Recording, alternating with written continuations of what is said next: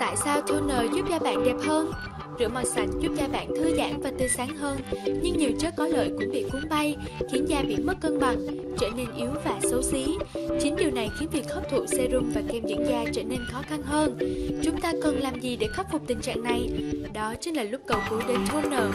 Với thành phần chính được chiết xuất từ hoa hồng đỏ nổi tiếng, hái bằng tay bên bờ biển Hokkaido, cám gạo được ủ về lên men tự nhiên bằng loại gạo ngon nhất trồng tại tỉnh Niigata, anh đào của vùng núi Phú Sĩ và hàng trăm những chất quý giá từ Nhật Bản được sáng chế theo công thức độc quyền thuộc loại toner gốc nước tuyệt đối không chứa cồn, an toàn và bổ nhẹ cho mọi loại da.